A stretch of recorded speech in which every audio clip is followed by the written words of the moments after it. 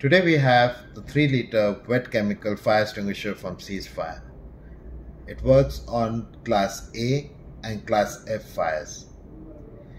We have the extinguishing cylinder which is pre-pressurized to 15 bar. You have instruction stickers on it.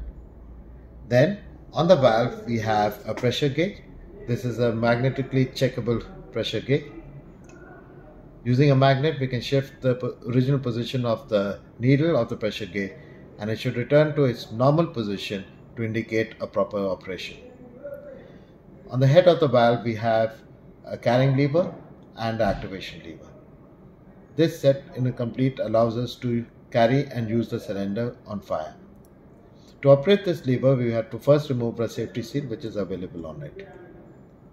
To the output of the valve we have a flexible hose pipe which is connected to a specialized spray nozzle. We'll look at the application of this cylinder on class F fire today. For the demonstration of our wet chemical extinguisher, we have put in oil or cooking oil on high flame. The cooking oil will start burning at 330 degrees centigrade minimum temperature.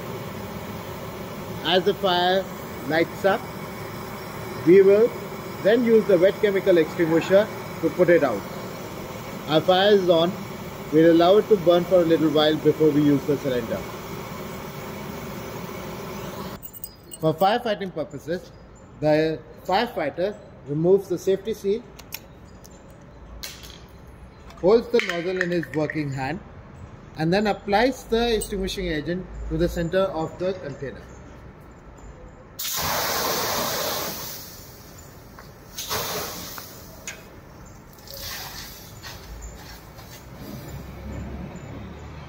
Immense frothing on the cooking oil prevents any air from reaching the fuel surface, while the water trapped in the chemical gradually evaporates and this steam inerts the surface of the flame and also cools it while evaporating from liquid to gas state, absorbing the temperature from the fuel.